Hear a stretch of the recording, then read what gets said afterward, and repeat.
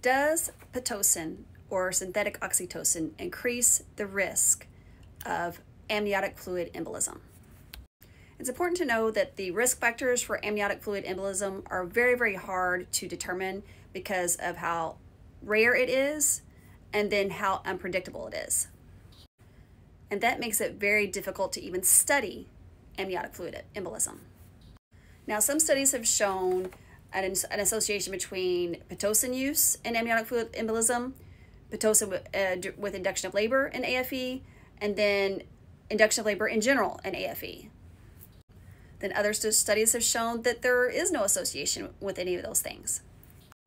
The bottom line is that there's nothing that we know of definitive that would alter the course of anything we do during the management of someone's labor and delivery.